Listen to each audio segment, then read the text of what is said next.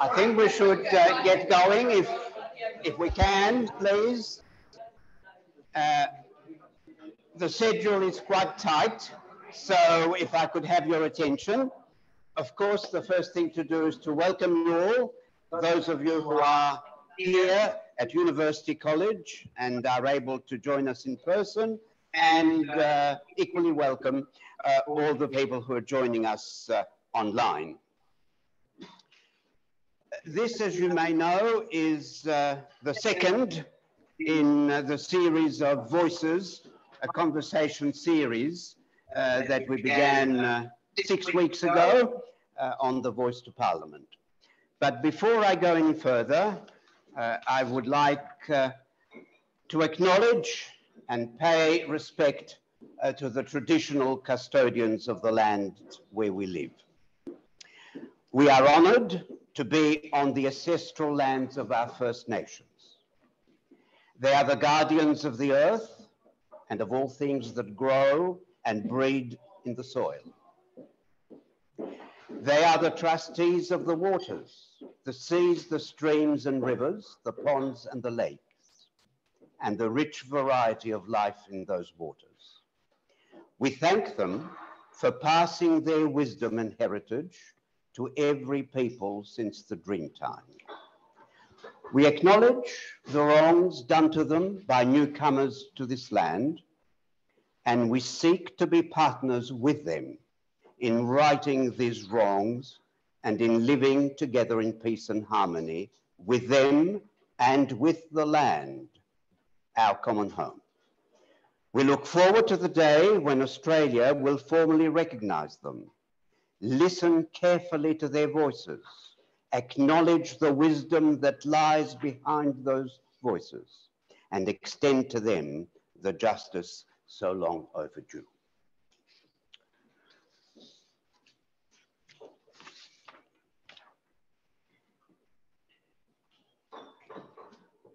We were going to uh, begin with a little bit of music in the background, uh, but uh, this creates too many technical complications, so we leave that to one side. Uh, this is uh, the issue we're dealing with tonight. Uh, Australia adrift in the turbulent seas of US-China rivalry is one of the defining issues of our time. For Australia, for Asia Pacific, uh, one could say, for the world. And uh, it is clear that um, we cannot rely necessarily on our mainstream media to inform, let alone to analyze. Uh, what uh, is likely to happen, as has been the case now for some time, is for communications media of fear. I'm sure everyone who reads The Age would have seen yet another front page, top secret wargaming intensifies China fears. And everybody should be suitably frightened by it all. That's the message. Are you sufficiently frightened? And if you're not, we're going to frighten you a little more. That is it. So this is really the purpose. It's not the first time we're dealing with this issue, and it won't be the last but it's at a critical moment for reasons that I'm sure some of you are aware, perhaps most of you.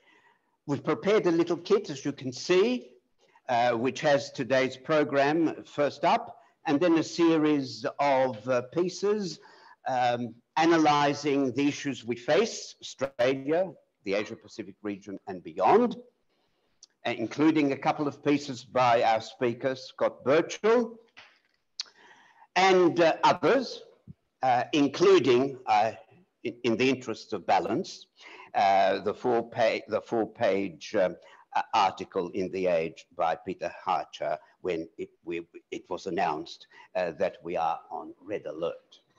And also uh, excerpts from the just recently released declassified part of the Defense Strategic Review. and then a range of other uh, bits of analysis about where, where we're at, uh, do feel free to share it with others. Uh, a little question, and then we'll pass over to our speaker. Please as I speak, think of the people you know, all the people you know, not just one or two. Family, relatives, in-laws, the lot, cousins, nephews, nieces, distant, close, doesn't matter. Think of all of them. Think of friends, current and past. We're thinking. We've already reached close to 100 mark, at least. We know 100 people under those categories. Colleagues, former colleagues, professional associations, unions, etc., etc., all the people attached to those. If you're a member of a group, a church, a sporting club, think of them. You're thinking. Come here, you're thinking. By this time, you've got, oh, I would say, roughly 150 to 200 people, some less, some more. Now, this comes the question. Do you think the people in your network, don't worry about anybody else's, just your network, the people you know, neighbors I should have added, the people you know, are they on top of the issues we're discussing tonight? Are they? Hands up those who say, yes, the people in my network, not all of them, but a substantial number, are on top and following it closely. That tells you the story. That's where we're at. And the question that I hope we will begin to address, what would it take for the majority in a room like this to be able to put their hands up? What would it take? Unless we can answer that question, it is grim grim. Okay, uh, right. Now let's, uh, let's just a little exercise, which I always enjoy doing in relation to any issue. Because at the end of the day, as uh, someone was, uh, I think rightly quoted as saying, tell me the conversations people have and I'll tell you what kind of society we have. All right, Time to introduce our speaker, someone I've known for a long time, though I haven't seen him for a very quite some time, and that is uh, Dr. Scott Burchill. He's an honorary fellow in international relations at Deakin University, where he taught for many years. He's the author of several books, including The National Interest in International Relations, uh, Misunderstanding International Relations, and uh, various other works, including co-author of Theories of International Relations. He's taught at Monash University, the University of Melbourne, and the University of Tasmania. He's a regular commentator on the ABC radio and television, and his, uh, it's my pleasure to introduce him to speak to us this evening.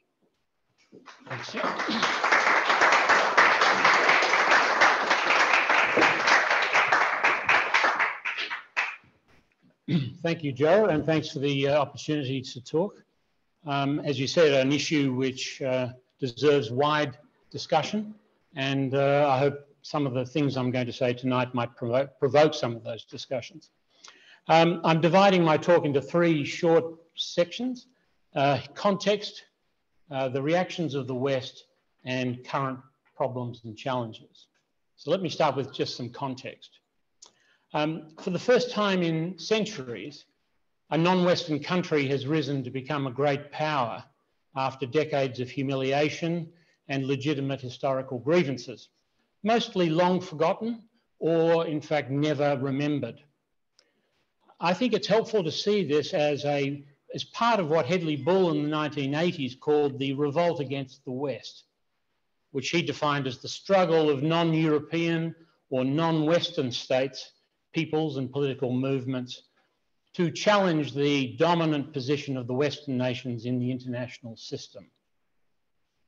Now, China's extraordinary um, modern economic growth, sponsored in part by Western transnational investment in manufacturing, has enabled greater military spending, though less than a third of what the US uh, currently spends. Um, I think it's just uh, just over a quarter, somewhere between a quarter and a third. Um, you also be aware that the United States has 700 plus military bases around the world outside its own territory, China has one. As realists would tell us, this is normal behavior for a rising great power, whether it's capitalist or communist. The second thing they might say is that imputing motives from capabilities is an old strategic error. However, this hasn't stopped Defence Minister Richard Marles placing China's unprecedented military buildup as a justification for expensive military hardware acquisitions announced recently. It's important to note that China could, in fact, or is in fact spending significantly less than it could if it wanted to match the level of US military spending. And as a share of government expenditure, China's military spending has steadily declined over the first two decades of the century. So you need to be, have a much more accurate picture of just what is going on. If you've seen Richard Marles in recent interviews, his first justification for the uh, AUKUS submarine purchases and the responses in the Strategic Defence Review is this talk about an unprecedented military uh, build-up.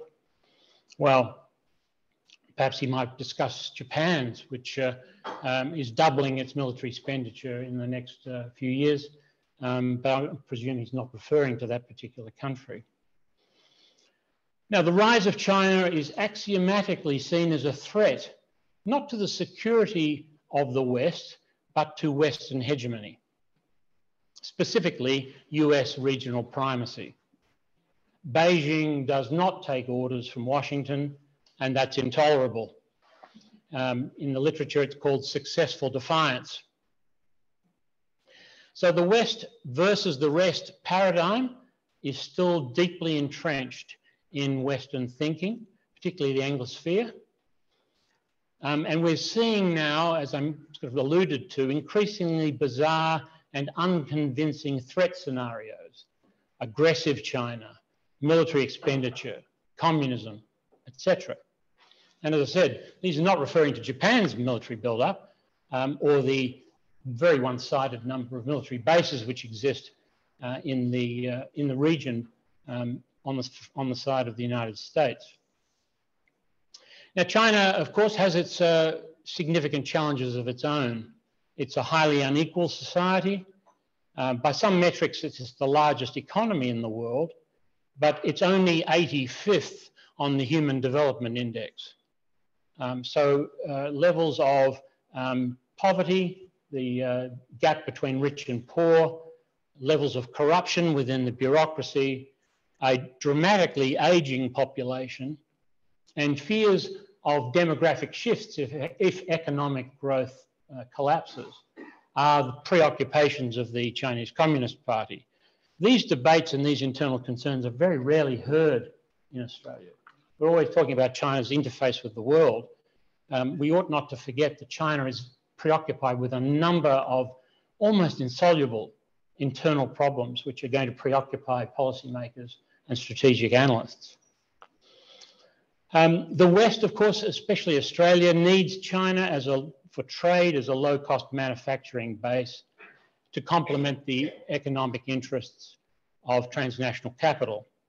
However, it's interesting and important to note that US capital is not monolithic and is divided between two sectors, what I call a consumer sector, the manufacturing sector where iPhones, computers, white goods, etc., are manufactured, and the military sector, which arms, uh, provides arms for Taiwan um, and has a vested interest in exaggerating the so-called China threat. So when we talk about US business, we need to understand there is a significant tension there, and that tension has played itself out in the past, in the recent past, and we might take that up in some of the Q&A. But uh, the last thing that US transnational investors want is a conflict with China.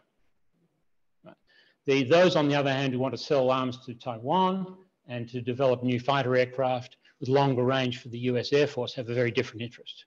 So important to note US capital is not, is not monolithic in this sense.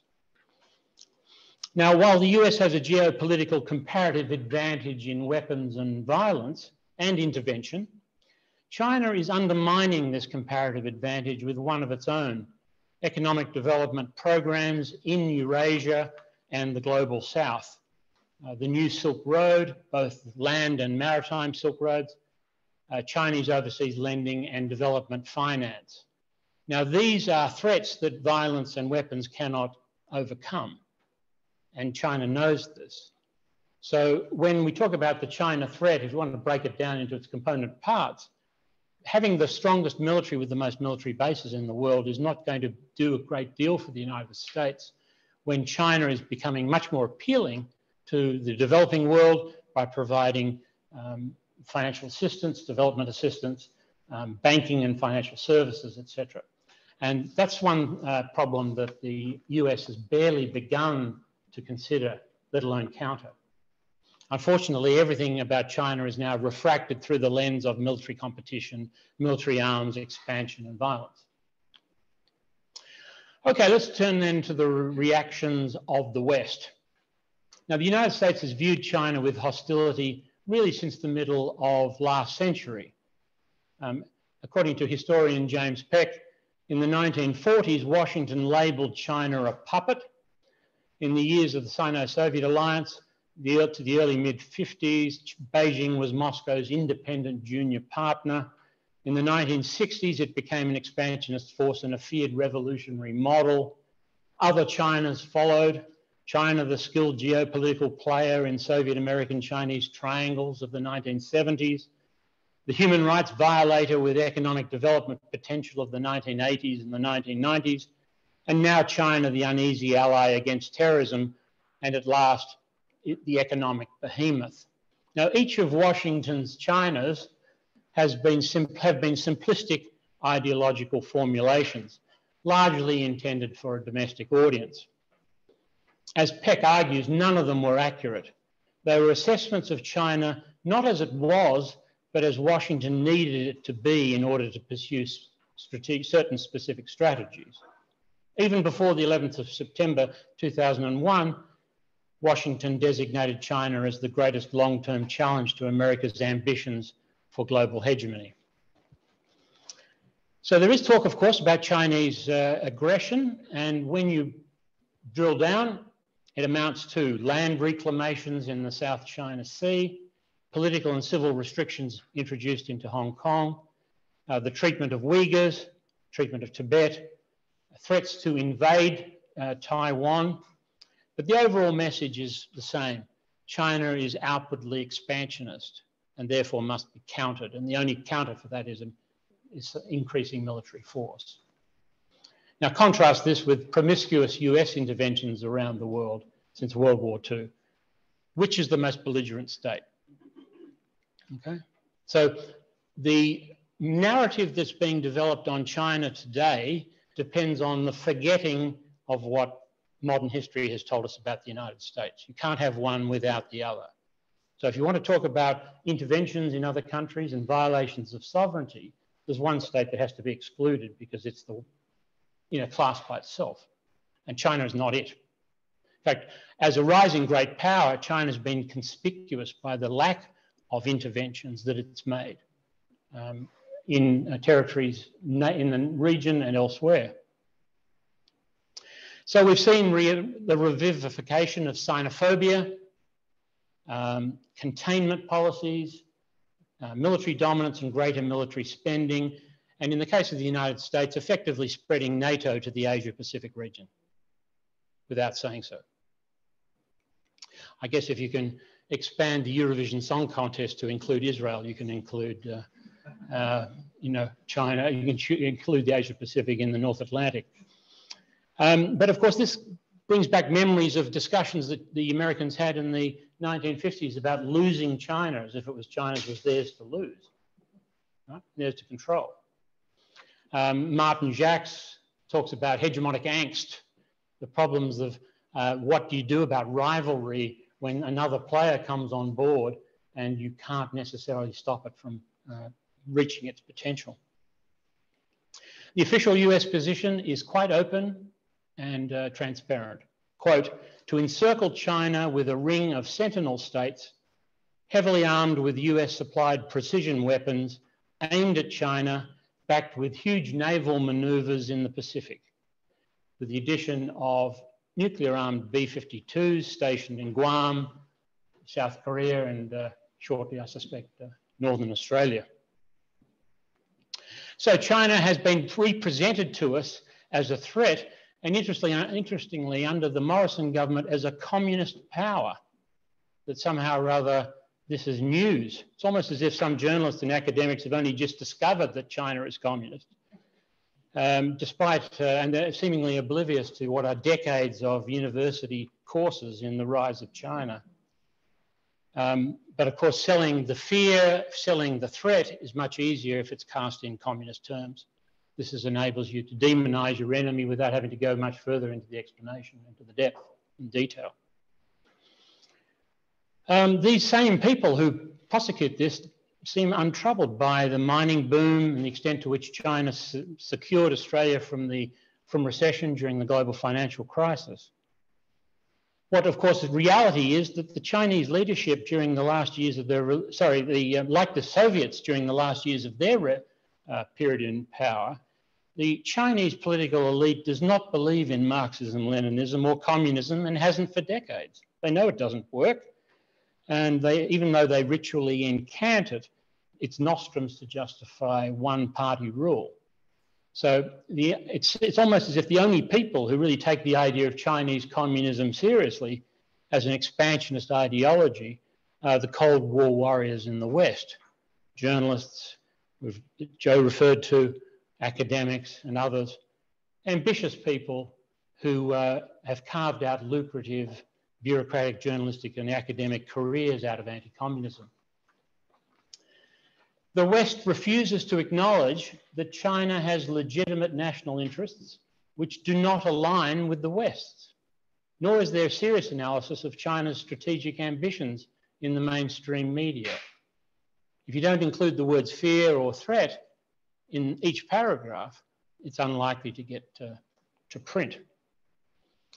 The world acknowledges the one China policy, but acts as if Taiwan is independent and should be protected from the sovereign power we recognize as owning its sovereignty. And of course, this has now become a major pretext for increased military spending. So we can actually refer to China invading its own territory, similar to you know, Australia invading Tasmania. All right, let me turn to the last of our summaries, and this is current challenges. There was a choice. We could have tried to help China integrate into international society. Unfortunately, we chose to exclude it. So one of the, if you read back at Hedley Bull's uh, uh, Hagey lectures in the 1980s, you'll see he had a, almost a roadmap of how the West could open up international society to non-Western players to give them a much fuller role in the, car, in the structure and leadership of international institutions and a role in carving out international law and international norms. And despite the compelling need to work cooperatively on climate change, nuclear proliferation, North Korea, the West is trying to contain China and is particularly concerned by growing Russia China ties, especially, of course, in relation to Ukraine. But we ought to understand that the, the Russia China marriage is one of convenience, largely, if unintentionally, arranged by the United States due to its antagonism and open hostility towards both states. So don't be surprised that you actually get what you set out to achieve and then lament it. Australia has unwisely chosen to even more closely align itself with US naval policy in the Asia Pacific, effectively enhancing the encirclement of China. So the Quad, AUKUS, the DSR 2023, the Defence Review, Marine, US Marines in Darwin, US bases in Pine Gap and elsewhere, they operate on one common theme. China's rise is a growing threat which must be countered with massive increases in military spending. The result transfer of, uh, at this stage, $363 billion of public funds to private military contractors in the US and the UK, and a more aggressive anti-Chinese uh, strategic posture. I saw in the recently in an interview a couple of days ago that this figure may increase blow out to half a trillion dollars by the time uh, we actually get to 2040 when some of these uh, submarines actually appear, if they will. All of this is against our most important trading partner, which happens to be nuclear armed.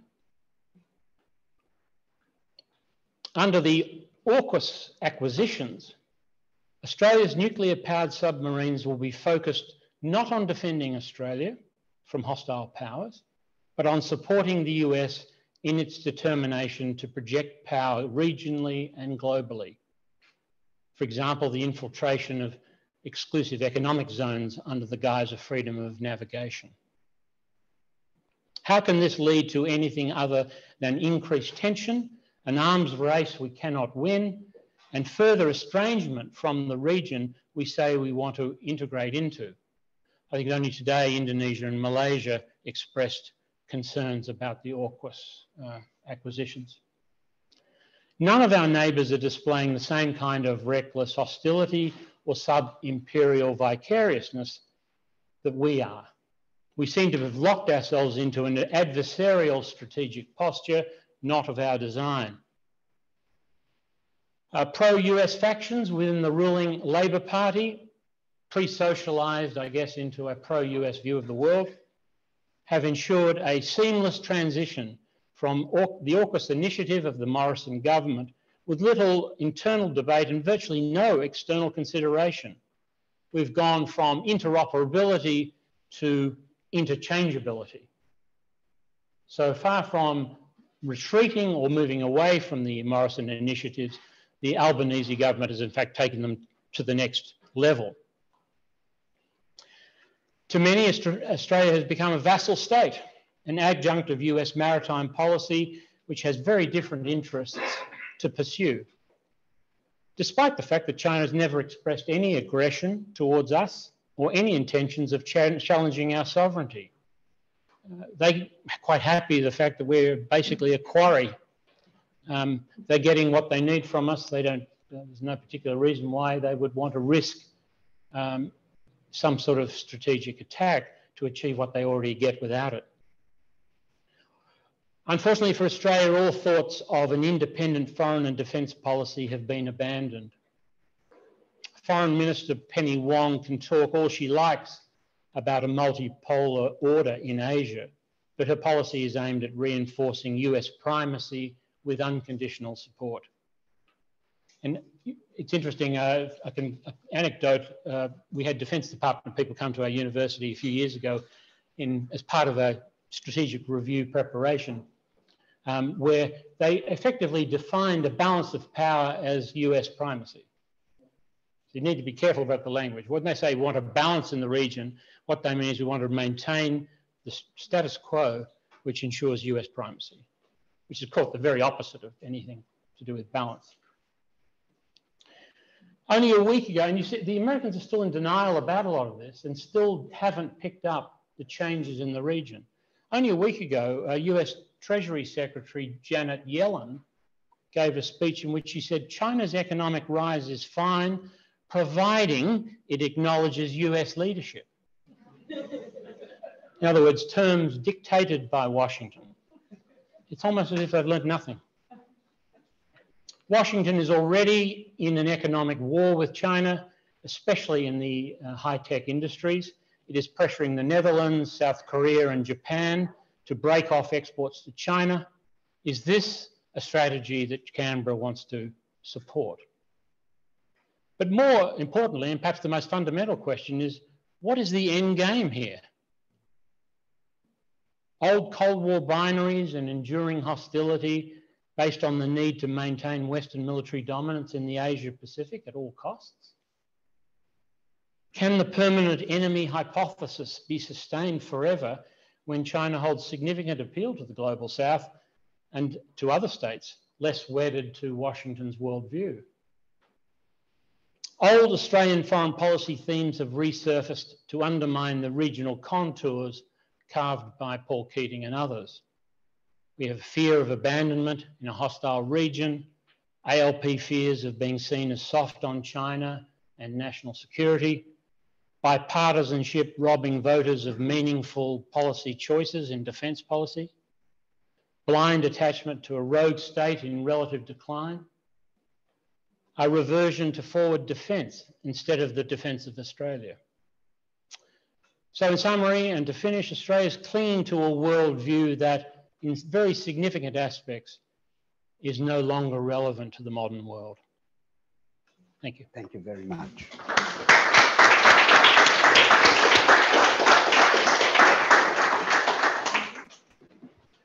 Thank you very much for that, uh, Scott. Um, a very interesting tour of uh, the situation globally, regionally, and as far as Australia is concerned.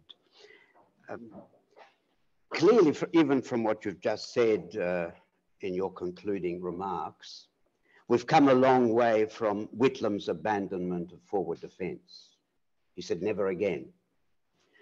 Um, we've come a long way from Keating's, our most important relationship, most important is Indonesia, which meant the United States is not it. It requires some explanation. How have we come to be where we are now? What's happening? Well, if you ask Keating, he'll say that we've lost our nerve and the policymakers in the ALP have stopped making policy. As you said before to me privately, there are just no new ideas and no one with the courage to put those ideas out, even in opposition. And let's say they had nine years to sort of broach some of these subjects. So no new ideas, no courage to take on the status quo, um, no intention to sort of say, well, is there another way here? Is this the future that we need? And the way to do that, of course, is just to be short term, is this short termism, constantly responding to the news of the day or the news of the week, but no long term planning.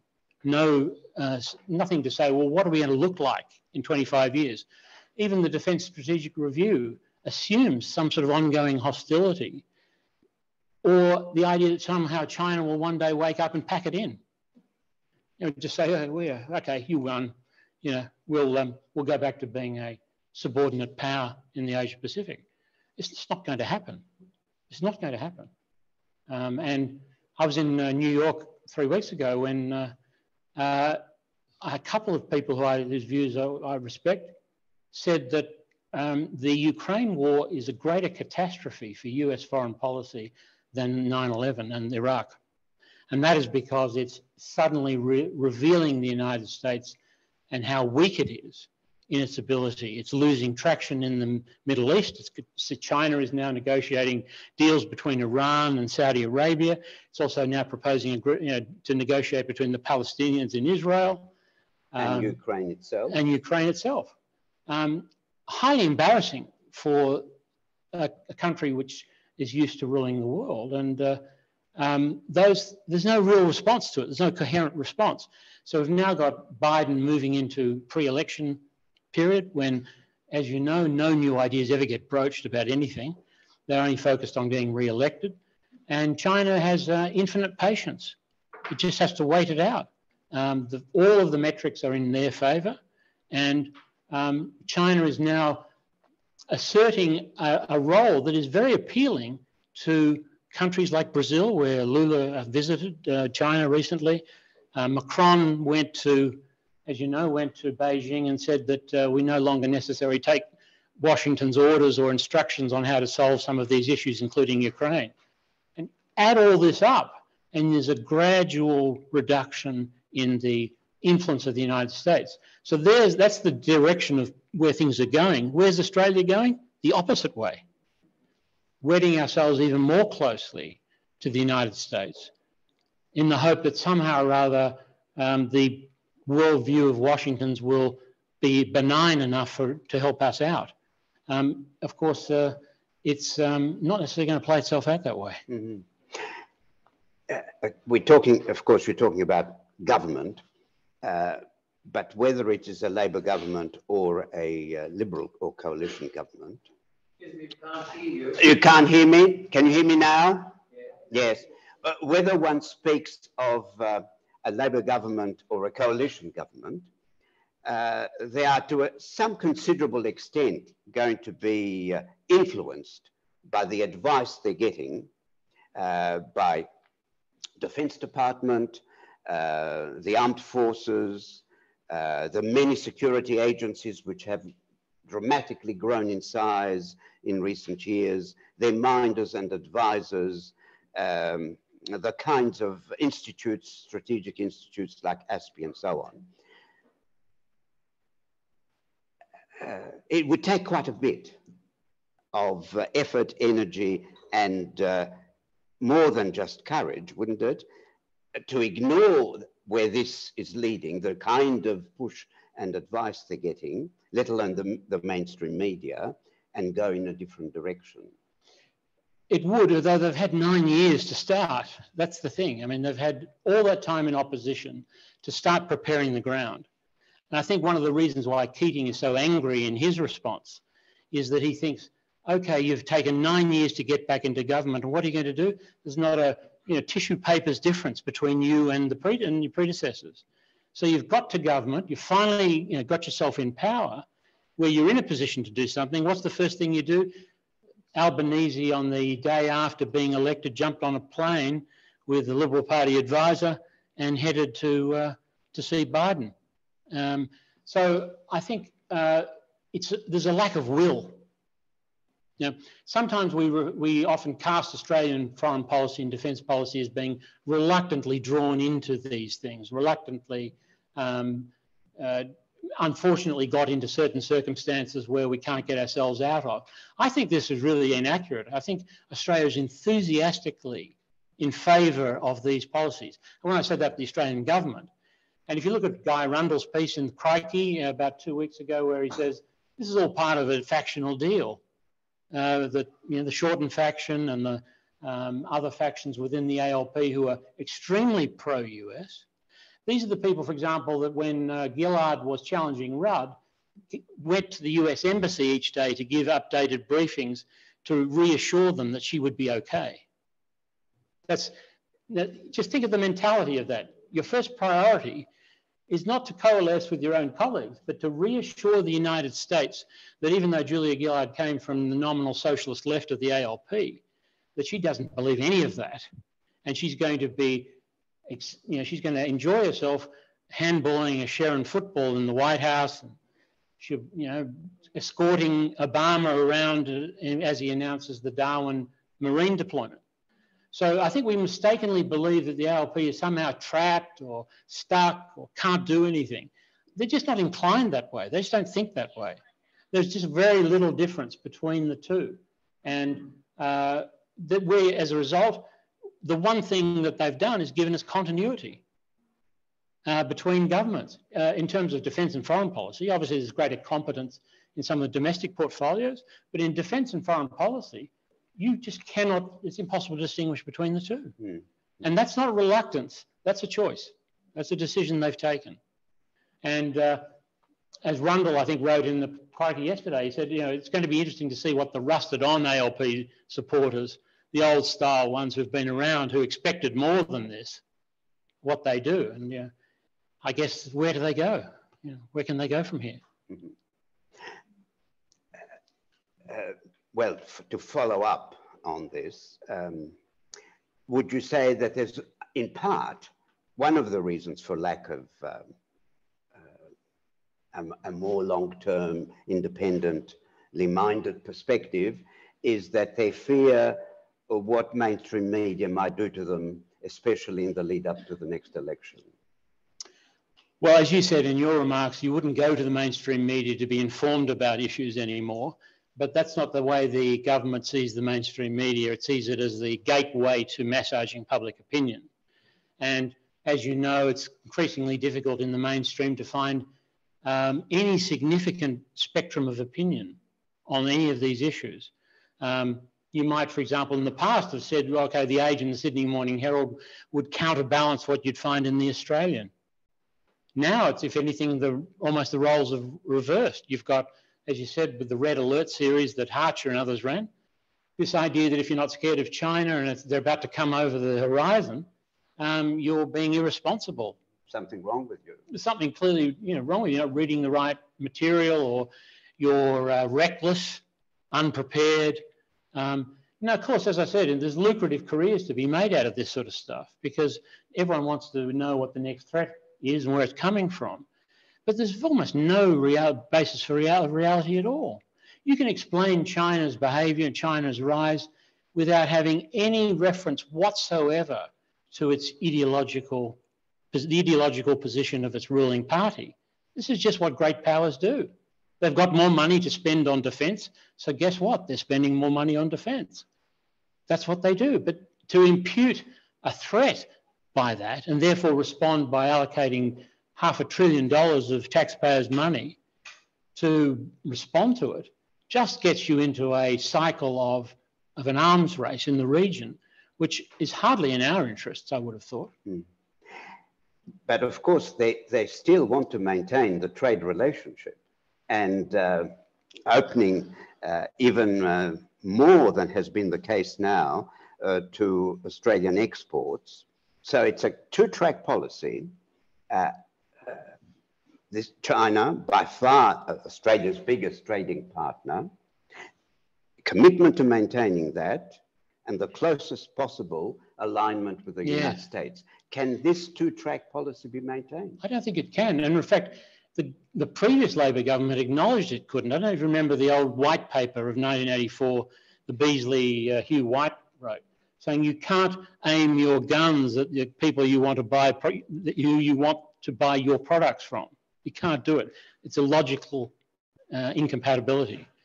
Um, and the Chinese have responded in a fairly moderate way, it has to be said. There's been obviously sanctions, which are being eased off. But um, China is by far, as everyone knows, the most important trading partner. Uh, we have a trade surplus, I think, with China. Huge. And it's very few countries do.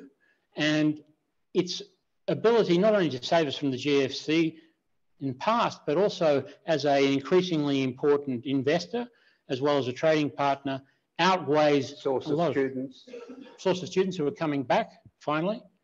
Um, to alienate those with these sort of uh, aggressive strategic postures, sending submarines that um, we have no uh, nuclear submarines, we have no history of actually being able to maintenance or you know substantiate, with timeframes that extend into 2040, uh, which is about 10 governments away.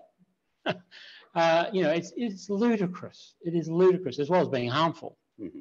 And uh, would be money would be much better spent setting up about 10 more consuls in China, in every major city in China. So the Chinese have, we, so Australia is interfacing with Chinese on a diplomatic and commercial level in every major city at a fraction of the cost, of course, of what they want to spend.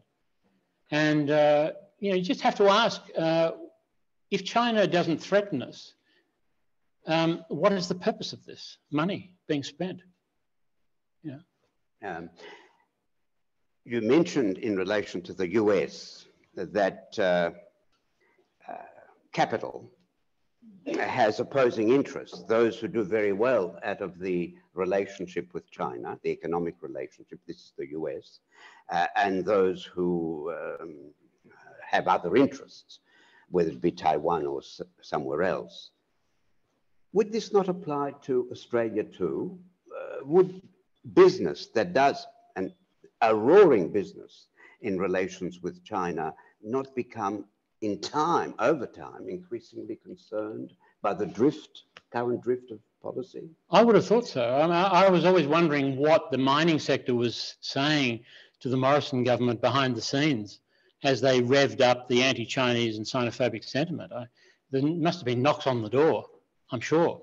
Those of you might remember just before 9-11, the Chinese forced an American uh, plane to land, I think it was Hainan Island. They stripped it, took it apart, photographed it, put it back together, and eventually gave it back to them.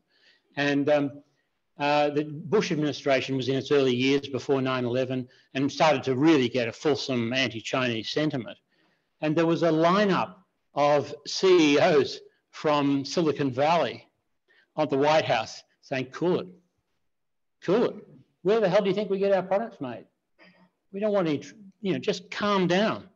Now, you know, we haven't got obviously the same transnational presence in the world, but you would have thought the mining sector would be extremely alarmed by some of the statements made by the Morrison government, and yet they're their financial backers. Mm.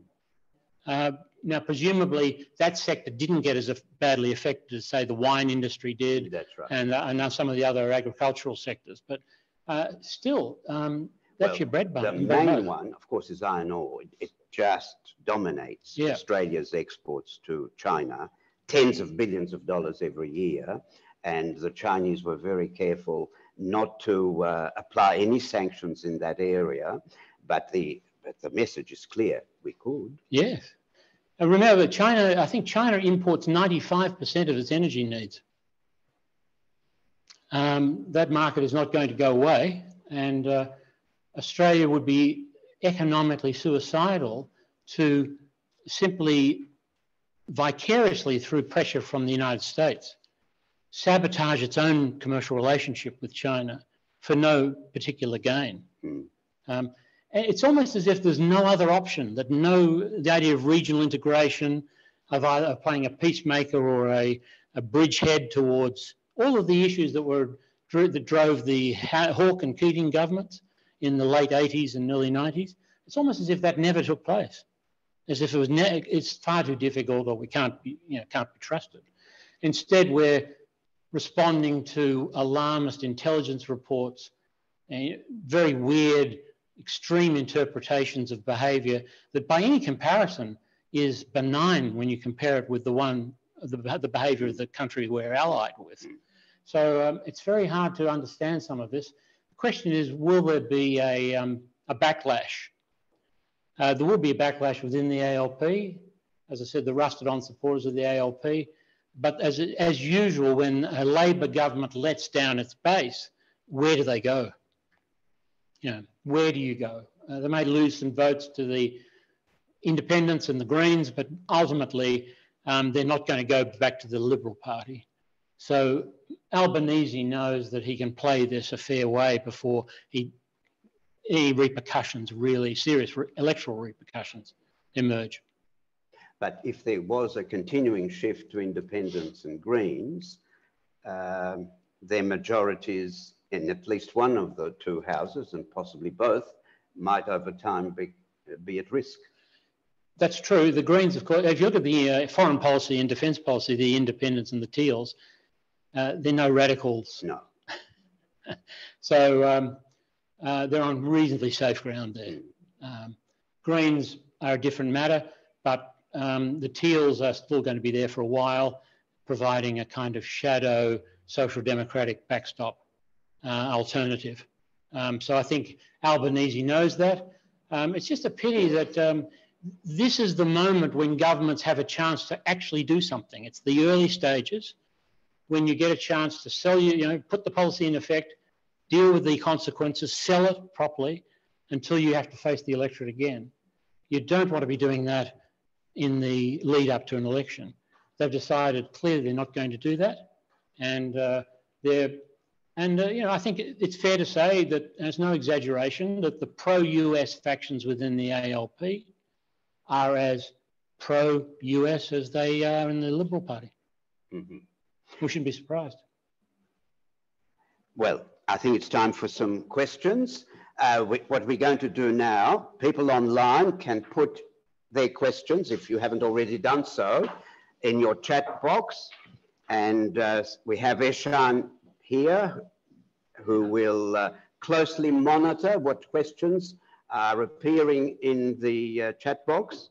And we'll turn to him to convey to us uh, some of those questions in a moment. But I'll give people online time to uh, place their questions on the chat box. In the meantime, uh, let's have a few questions. I assume there will be some uh, from uh, those attending here in person. Uh, and before I recognize anyone, I always like to see, over a period of three or four questions, a little bit of a gender balance. Huh? So if you want to uh, ask a question uh, and you're male, I'll recognize you, but every so often I'll want to make sure that there are some uh, um, um of our uh, sisters here who are also getting a chance to pose a question or make a brief comment. We'll start with uh, John. I'll bring you over a microphone just so that people online can hear you. Because you can't be heard online from where you are. Okay, so just hold it for a second.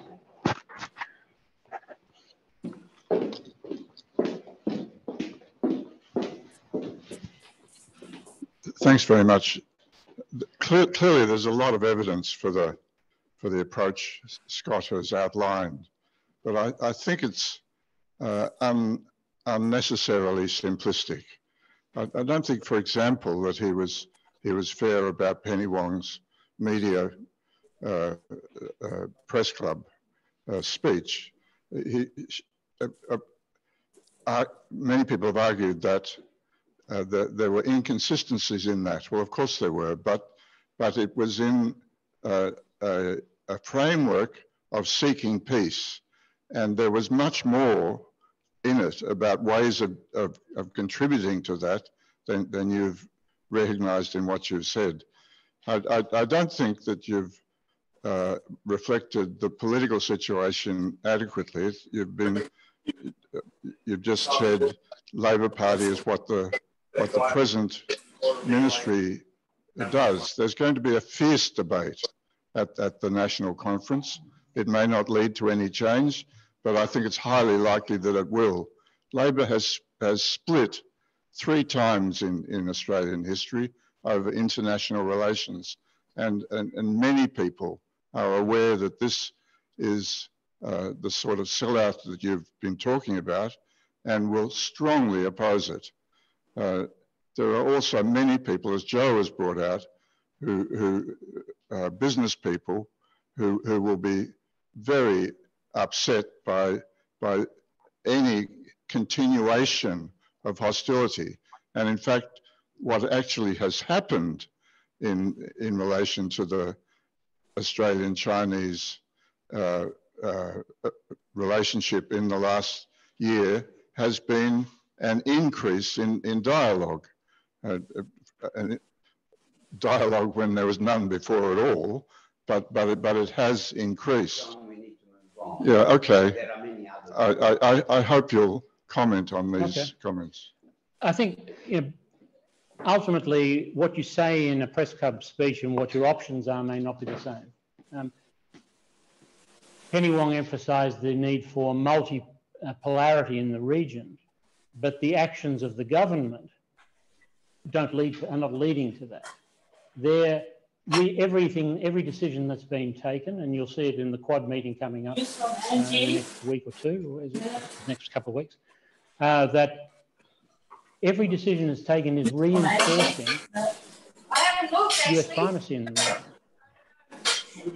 Where's the where's the where's the multipolarity? The US is leading will not tolerate sharing great power in the region. It never has, it never will. Um, that's it's not even a controversial statement. But the question is, what options does uh, Australia have? Well, you can say whatever you like in a public forum. The actions, where's the money going? What, is your, what, what decisions have you taken? And the only interpretation of the decisions that have been taken in recent times suggest a reinforcement of US maritime policy in the region. You don't buy, spend 500 and over five, you know, billion dollars to reinforce multipolarity with submarines.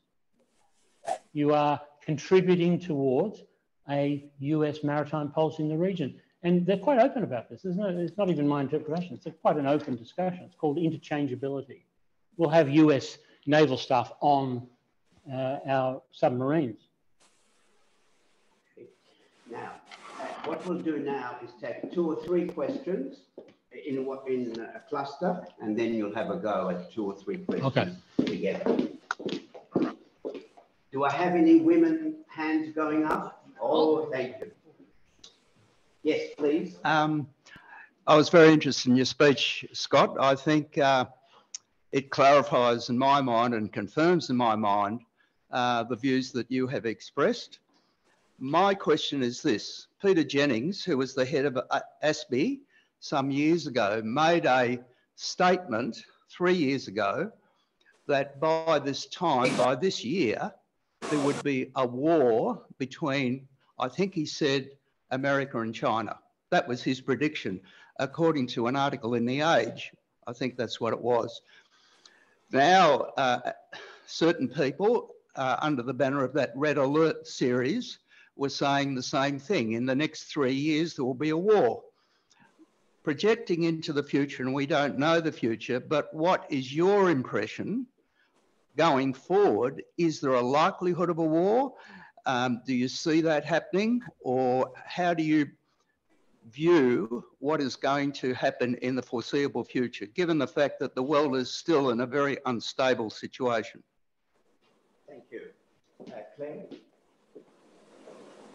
Uh, I'm uh, just interested to know what you think about the, well, Speak up sorry, sorry.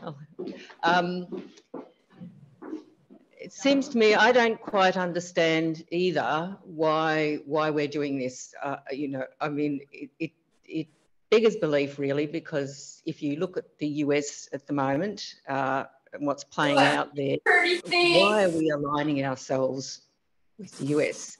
And I'm curious to know whether, um, I mean, some people have speculated that uh, the power that US has or uh, use some kind of, whether it's blackmail or bullying or whatever ways they actually do, uh, is happening here. Now, this, this is just just a couple of minutes and we're on. because the same's happening in Europe, where like Germany, for instance, I mean, have have their have had their who are aligning themselves closely with the US, uh, but have had their sort of energy supply affected uh, by the US, and they seem to still, you know, it, it, in my opinion, the US is out, out to destroy Europe too, in terms of you know, being the hegemonic whatever. Um, and why are we all Well done. so compliant? Okay. Uh, At the back, yes? Oh, Sorry. let me get back there, sorry.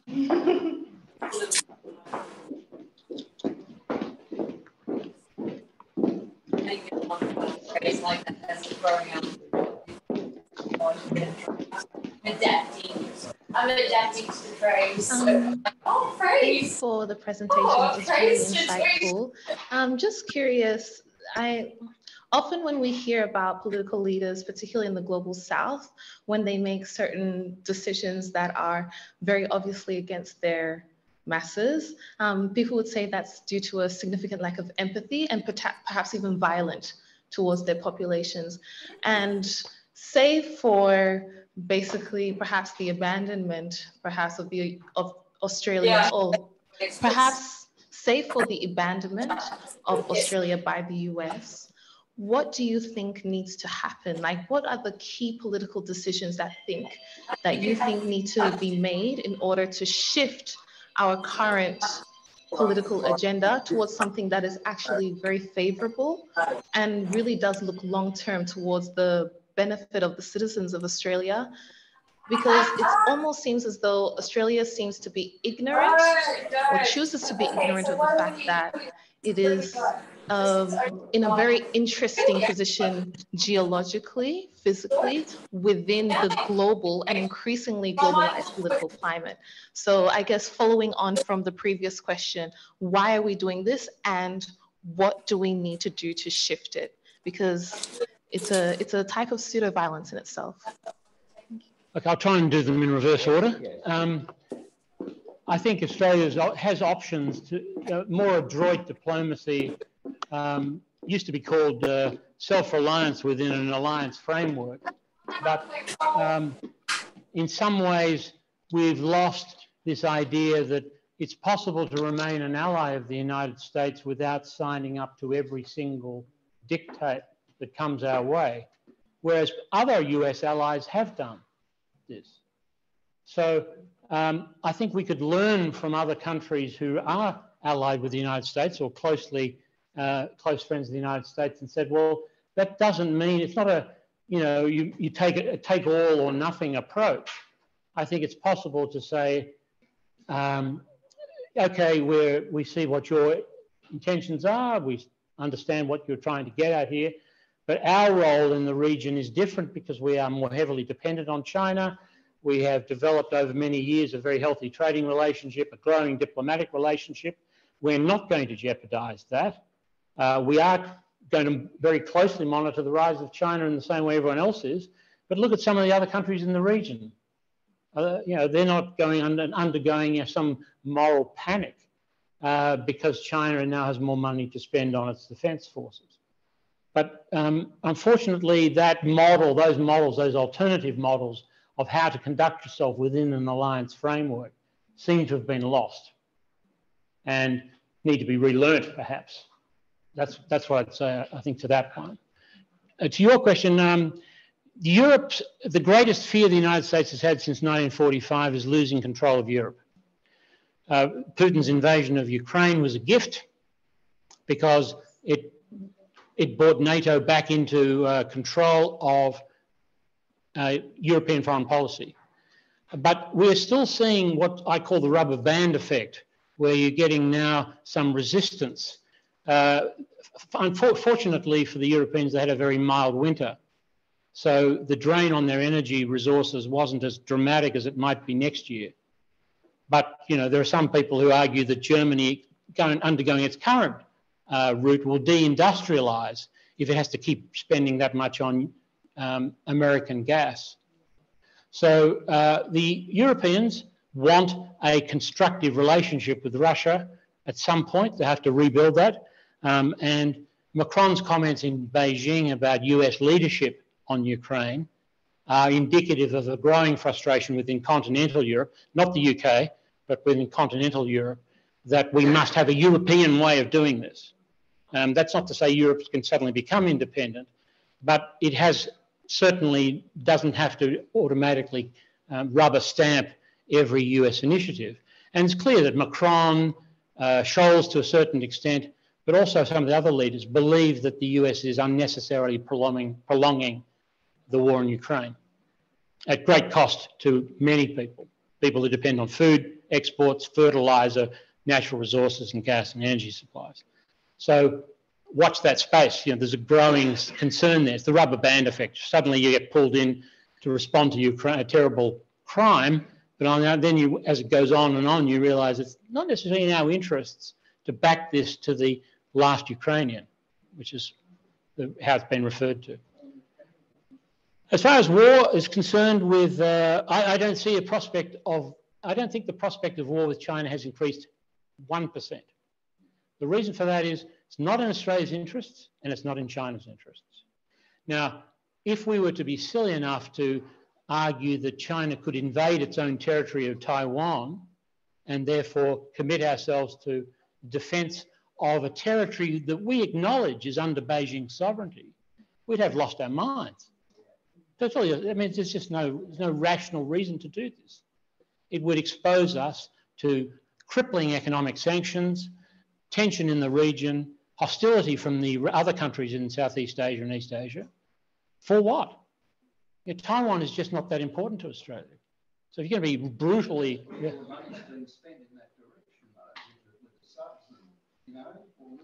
Well, the Americans, for example, want they, the, the value that Taiwan has to America is semiconductors.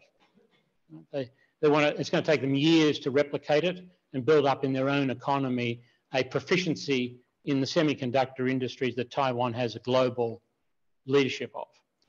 But why would China retake Taiwan? Under what circumstances would it uh, would China do that? What what would be the motive for it? Um, Taiwan is the largest investor in China. Why on earth would it want to jeopardize something like that? I mean, it might be crude in the way it it behaves and, in the, the, comments that are made about the Taiwanese leadership, just as they were crude about the Hong Kong issue, but they're money spinners for Beijing, as they are. To jeopardize all that with a high risk uh, invasion of across the Taiwan Straits makes no sense for China.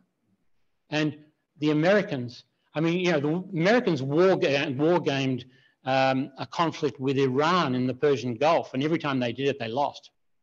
How do you think they're going to go in Taiwan? Okay, it's, it makes no sense. It's made no, I think, but of course that, that doesn't play into the current narrative in the mainstream. The current narrative in the mainstream is that this, you know, this, this war is just a few years or less away. And notice that the people that they got on that Red Alert series in the Age and Sydney Morning Herald all had the same view. It was a series of carbon copies. There wasn't one person on that list who said, I don't believe any of this. I have a completely different view, and here it is. Imagine in the modern world just producing a, a, a series of takes on Australia China relations and not including anyone with a dissenting view. I mean, they're not very subtle. Okay, now we go to online. Do we have some? So a few online questions. One is, how can Australia and China successfully navigate the challenge of making each others feel safe? The other is, is Australia doomed to become the poor and defeated ally of Asia? And one is, um, uh, asking you about what do you reckon, would Australia sign the TPNW? For those who don't know what that is, it's the Treaty on the Prohibition of Nuclear Weapons. And how would that affect the relations with China? Well, I think uh, sort of, it, I've already kind of mentioned that Australia needs to redirect its attention towards constructing uh, permanent dialogue with the Chinese, permanent dialogue where all the issues that are raised between the two can be dealt with without this being frozen out, without no one speaking or no one taking phone calls and picking up the phone. And um, one way that could be done is through regional forums. And we've always said Australia is engaged in the region. We want to further engage in the region, but we don't, we don't seem to want to use any of those regional forums to bring China into our dialogue.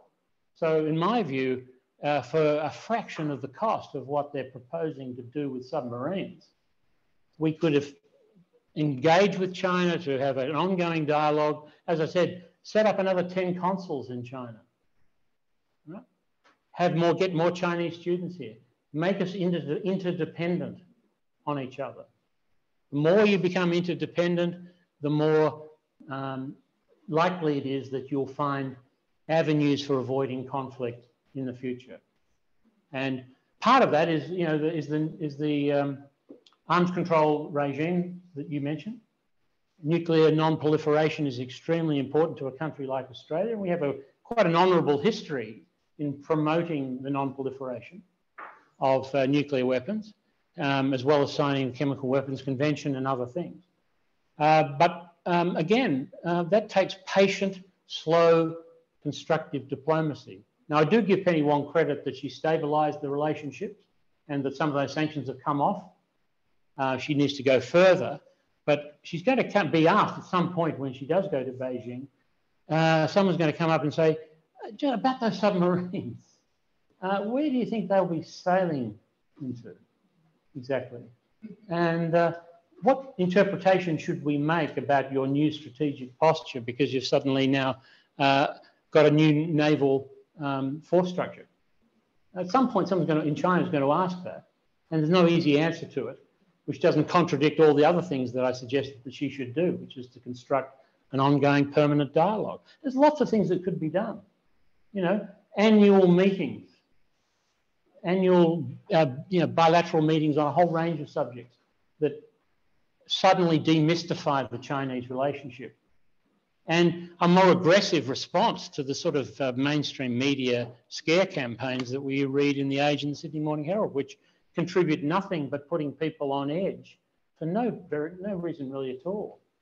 Because they're not even, I don't think any academic would read that and say, well, I'm going to prescribe that to my students to read. I mean, it's just a fear campaign. There's, no, almost no substance to it at all. But it, you know.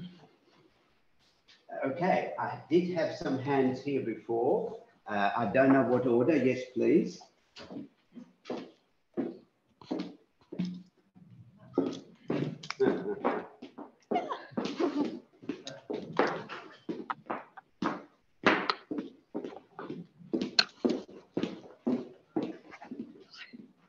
Oh, oh, hello. Um, my name's Rosie Elliott. I'm one of those poor, rusted on Labor Party members, and this is really ripping me up, as I think it is to all of us, all of the members. And I do not know what we're going to do. Um, in, in a month's time, our branch, which is all, would be all saying the sort of things you're saying, we're having a meeting with our member who happens to be Peter Khalil, who's, I think, a hawk. I don't know, but I, I think it pretty is. He's a very good local member, um, or power him, but I think he's a hawk. And I, I, I don't know what we're going to say. Am I going to throw a little tantrum and say I'm going to tear up my card? It is very, I have no power. I'm just a Labor Party foot soldier, you know. So I, I, do. You've said you've just raised that question twice. What are we? What are we going to do? You know, and you didn't give an answer. I don't know an answer. Um, I wonder if you do have any thoughts in that direction, and what I should say to Peter Khalil when he comes to our branch meeting. Um, that's the question to him, and that raises the next question. Um, to me, this terrible propaganda war where we're all being beaten, like you know, with whips into this um, I've never seen propaganda like this. The nearest thing we can think about is the weapons of mass destruction. Um, I'm sure all of us were on the street against um, against the war there, and look what good that did us. Um, and I wonder whether our leaders, because I'm trying to keep the faith with with Albanese and Penny, and you know, like I'm trying to, um, and I'm thinking maybe they're just thinking oh, it'll all go away in the future. You know, it'll all just disappear. The oceans will rise, or whatever reason. It, you know, we'll, we'll, just we'll just won't get in trouble with the you know like Gough did. So what I want to know, are they being terrorised the way all the political leaders were about the weapons of mass destruction? Are actively lied to by the CIA? So, the question. That's it. They're the two questions. About Thank what's you. the analogy and what should we tell? I tell Peter Khalil. Okay. Well, tell Peter. No, wait, oh, okay. have another one. Yep. So as to get more people. Yes, please. Thank you. Um, Dr. Burchill, I think you said it's sort of all right if China was to seize Taiwan because it's its own territory.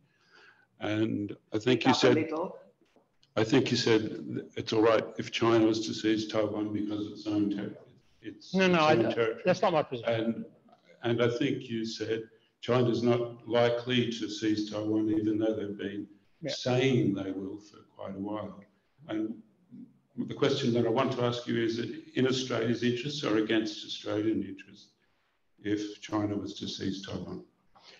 I think it's in Australia. I think I agree with Penny Wong that the, the status quo is the preferred option for Taiwan and for and that's the view that I think Australia does hold. That is to say, uh, no um, military invasion or, or attack across the Taiwan Straits. I certainly would not support it, and I don't think it's necessary or is likely to happen for the reasons I explained. I, I think the, Taiwan is a valuable resource for China in the current state that it's in. I, uh, I think the rhetoric is stupid that comes out of Beijing about Taiwan and reckless and indefensible in many ways. But, you know, we have to take the rhetoric separately from the actions. And I refer to your question is when you talk to Peter Khalil, ask him why uh, the National Conference of the Labor Party has twice pledged to recognise Palestine. And the government has not done it. So this is the gap between rhetoric, policy made at national conference, and what governments feel obliged to implement. And it's always been a huge cause of frustration for Labor Party members that they work feverishly to get things passed at the national conference and find government saying putting it in the too hard basket as soon as they get into government. And all that uh, achieves is undermining the relationship between people like you in the branches. You'll see branch attendance drop off. Uh, people get writing letters and getting kind of pro forma responses. And why we, you know, we're still thinking about this. But again, um, you've got to understand that in within the ruling factions of the Labor Party, this policy is very popular. It's not a reluctantly drawn into something they don't like. They have been very pro uh, the United States for a long time. The right wing, particularly the right wing faction of the ALP. Uh, this is not new. Um, if you want to read it, as I said, I referred to the WikiLeaks cables before of when um, they used to run off to the US Embassy to prepare the way for Gillard's takeover over uh, Rudd. This is because uh, that's where they see their primary responsibility. They're as a loyal, reliable ally of the United States. But as I said, it posed the question in my, in my talk, what's the end game? Where do they think this will end up? Is, is it, are we just, should we accept permanent hostility? These sort of Cold War binaries that we thought we had finished with in uh, the early 1990s. You know, what, what is the end game? Where do they think this will lead? What do they think, how do they think China will respond to the AUKUS uh, submarine acquisitions? What do they think China will do? And I just don't think they've thought this through, um, or they, they don't care. I don't know. But I can understand your frustration because you feel there's a gap between what your what the local members want and the, argue for and what comes up in terms of policy outcomes. Okay. Um, one more over there. Yes. Last one from the uh, from here, and then we'll see if there are any more online, Ishan. I don't know. We'll tell, you'll tell us in a minute. Uh, thank you, Scott. Um, this, this, is more um, an observation on which I'd like your comment. Uh, you said that um, both on the Liberal side and the Labor Party side, uh, the factions of the Labor Party that are in power in Canberra, uh, the policy of alignment with the United States is very popular. My own view is that uh, on both sides of politics, those who have been intimately exposed to the United States um, for quite some time through things like the leadership dialogue and other methods of brainwashing our leadership, are very uh, well aware of what happens to a friend of the United States when it turns against United States policy. Um, and we can go back in history to uh, many, many examples. One that struck me personally because I was in Iran um, not when it happened, but it was sort of part of my understanding of Iran, was that Iran was a close ally, ally of the United States until Prime Minister Mossadegh decided to nationalize oil. And then, of course, he was violently overthrown, and Iran flipped and flopped between being a friend of the United States and being an enemy of the United States.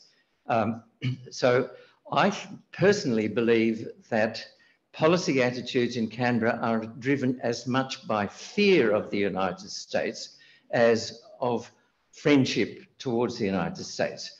Uh, I think um, John Mearsheimer uh, in Canberra, in dis discussion with Hugh White, said that Australia is well aware that the United States can do Australia much more damage than China can.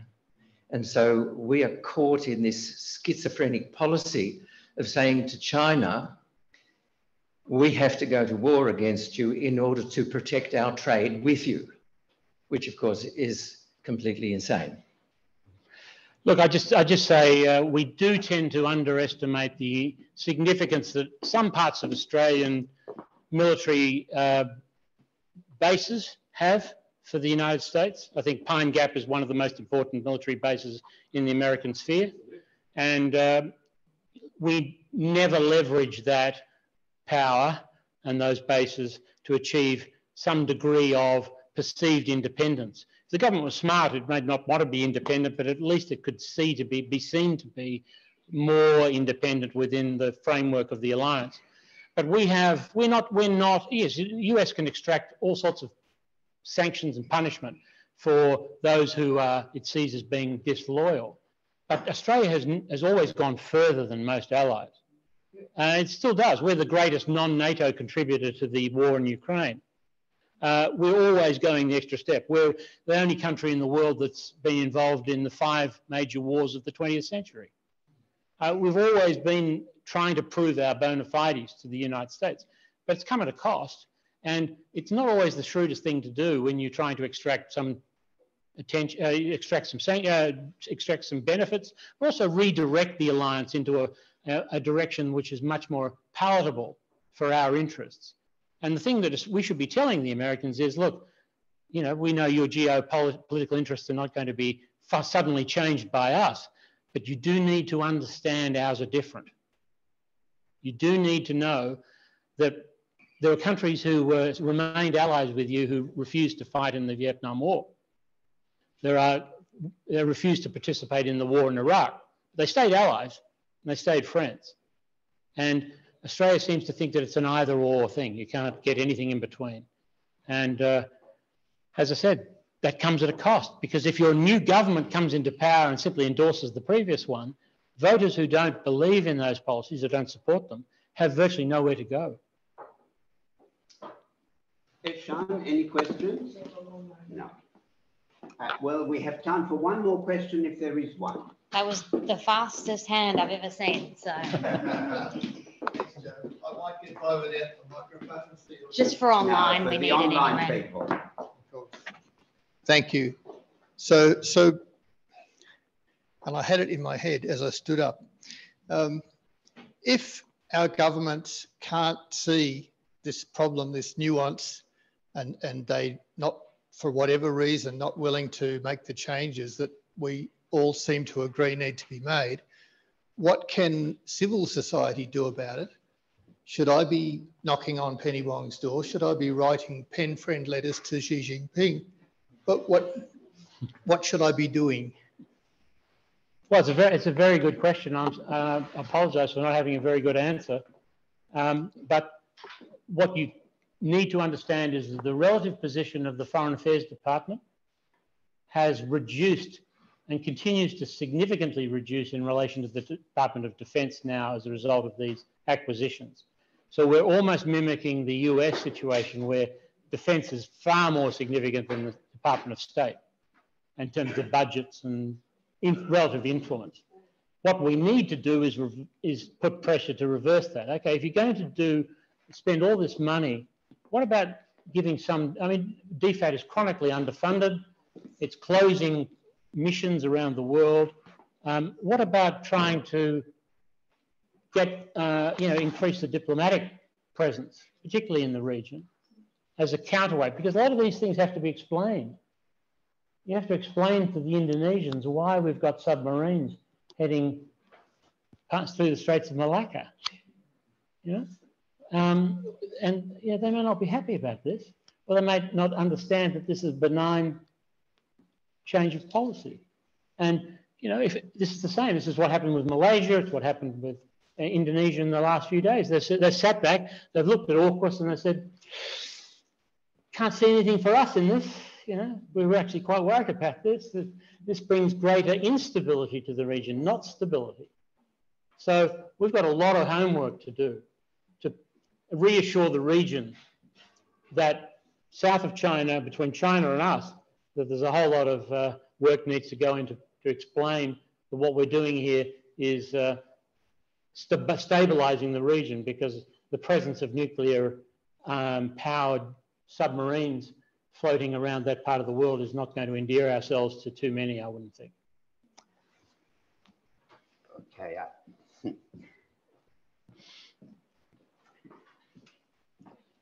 I'll thank our speaker in a moment, but uh, I think that's as far as we can go this evening uh, in terms of engaging with Scott. Uh, there are a couple of things I want to bring to your attention, uh, and uh, perhaps um, Emily will show a slide which tells us something about um, uh, the program that Conversation at the Crossroads has in mind. As you know, we've already had, this is the second one of the Voices series, and um, we have three more to go, and they'll be held at uh, six weekly intervals. So the next one is 13th of June. You will be advised of the details very soon, uh, but I can tell you that we're going to go into a completely different area and deal with the problem of mental health or ill health, uh, which has um, um developed pandemic proportions in Australia. And uh, look at the causes and possible remedies, particularly as it affects uh, uh, a younger generation. Um, in addition to that, uh, we have um, big ideas in the pub. And um, in a moment, I'll show you the details of the next one coming up. We've already had one of these and another one to follow later this month. Uh, politics in the pub, in the park is something we've had in mind for a little while, and uh, we'll no doubt hear more about that too. It'll be a more informal uh, occasion, social occasion, but also some serious discussion. And we have had for the best part of a year uh, conversations that matter, small groups meeting, uh, dealing with a range of issues, each group, about 10, 8, 10, 12 people maximum, uh, dealing with a particular issue uh, on an ongoing basis. And um, sometimes for six months, for a year, whatever it be, we're going to strengthen further some of our existing groups and probably establish uh, a couple more, perhaps more, uh, over the next few months. So you'll hear more about that as well. So going back to uh, big ideas in the pub, the next slide, here is the next one, uh, which will be uh, on the Indigenous voice to Parliament because so much hangs on it, uh, one way or the other. And that will be on Thursday, May the 25th. But you do need to register. It's uh, partly informal over a meal at the pub in Fitzroy. Uh, for those who live in Melbourne, it's not uh, made for online attendance. This is purely an in-person uh, event uh, for those who live uh, in Melbourne. So hope that some of you may be interested in coming. Let me say one more thing which arises from the program of conversations that matter. One, it's in answer to some of the questions. What can we do? We must develop conversations. It's critical. It's the only thing that can make a difference. The only thing. There's no point talking about action how are you going to get to action? What kind of action? By whom? In relation to what? Taking what form? Only one thing can answer those questions conversation. And so uh, the question was addressed in relation to uh, Labor Party members. Are they engaged in active, energetic, intensive conversation with all and sundry in their communities? Are they holding public gatherings on the issues that are of concern to them? And inviting people outside of Labor, uh, if it's the Labor Party, uh, outside of uh, Labor luminaries, outsiders who speak with a different voice. They should be bringing them together in their dozens, not once, but repeatedly. It takes a lot of effort. It, you need to establish your credentials. But after all, what's a Labor Party branch except for that? To be a force, a force for good in the community and not just forever uh, being, uh, if you like, focused exclusively on the internal disputes and debates within the Labor Party. It's got to go wide, wide, wide uh, and engage the community as a whole. So that's something we can all do, whether we are members of a party or whether we're not. We have to engage formally and informally in structured conversations, informal conversations, online and in person, one-to-one, small groups, larger groups, much larger groups. Public meetings. Let there be public meetings with hundreds and thousands attending. It, that's how it used to be done and it can be done again, even in the uh, social media age. And the social media can be used for that purpose. So conversation about the defining issues of our time and how this place we call Australia uh, is to navigate those waters. And one thing I think we should be saying is that with the voice to parliament, the referendum coming up, we should make it clear that the voices that need to be heard are not only just about employment and incarceration and so on. Because these are the people that have never ceded sovereignty. And yet we are ceding it, even though we haven't got it in the first place, to third parties. Have they ever been asked whether it's appropriate to have foreign forces established on this soil? A base right in the middle of clusters of communities, a foreign base. Were they ever asked? Will they be asked in the future? And when they have something to say about it, will they be listened to? Uh, there's, a, there's a test. There's a test. Um, so, much to do uh, over the coming months and years. Um, uh, and one final thing in principle, uh, this government is committed to signing uh, the treaty. I'm, I'm, only mentioning it because it was the point of a question. The treaty on the prohibition of nuclear weapons. We haven't heard very much about it, except that they're considering the issues. And will they do so, if ever they do, by declaring themselves totally opposed to any activity which engages nuclear weapons. That they, from now on, do not wish to be protected under the nuclear deterrent. Otherwise, what's the point of signing up? Meaningless. It's what you do when you don't really mean to be supportive of uh, the elimination of nuclear weapons. And if you do, then you have to become an advocate for lots of other allies of the United States to do likewise, assuming we go down that track. So there is much to do on all of these issues, and they're interconnected. And conversation is going to be terribly important uh, in uh, making some inroad into this, into very difficult questions, indigenous rights, uh, mental health, uh, foreign and defense policy, and the, and the likes the role of media, ownership and control of the media. There is so much that needs attention. Uh, and you can't deal with one to the exclusion of the others. How can you have an independent foreign and defense policy, if anyone's interested in that, and have the current media that we do have? How could you? Inconceivable. You couldn't. How could you have a foreign independent policy with the kinds of bureaucrats, civil and military servants, and advisors that you have now. Impossible. Impossible. Who do you turn to for advice? Who do you turn to for implementation of policy?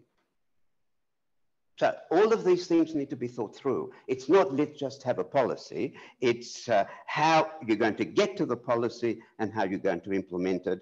And that can only happen in the event of an informed, thoughtful, respectful set of conversations nationwide. Only that can provide. So I'm making an advertisement for the importance of conversation and we in conversation at the crossroads, it's a drop in the bucket and hopefully can be multiplied many times over by others and by ourselves in the times ahead. So uh, can I just invite you all to join us for some more food and uh, drinks. Uh, please stay and engage in some conversation of the informal kind.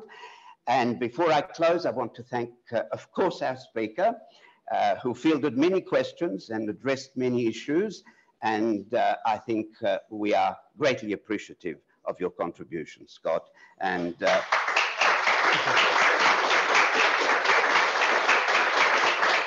And uh, I would like to thank very much all those who've contributed to the staging of this event, uh, including the people who looked after the technical aspect uh, of tonight's proceeding, Emily and Jackson. And, uh, and many other volunteers, including Rita, my wife, who helped to put together the kits that you have and much else, and many others. And many others who have contributed to this series and will continue to do so. So thank you. Uh, till we meet again, lots of conversation. Yes, hands up. Oh, the book.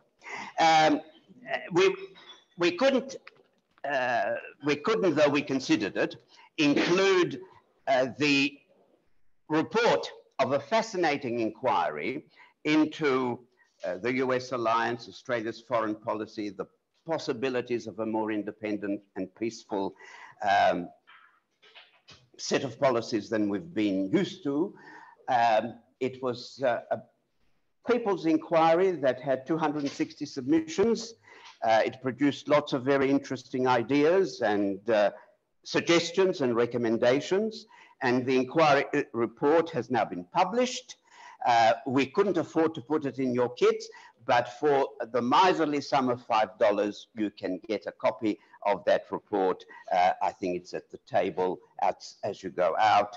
Uh, you please feel free uh, to purchase a copy, which you can then make a subject of conversation. People don't have to agree with what it says, uh, but it can be the subject of very useful conversation. Chart, it's called Charting a New Course. So uh, uh, if you can pick up a copy, do so and share it with as many others as you can. All right, thank you. And as I was about to say, till we meet again, uh, please enjoy the food and drinks in the meantime.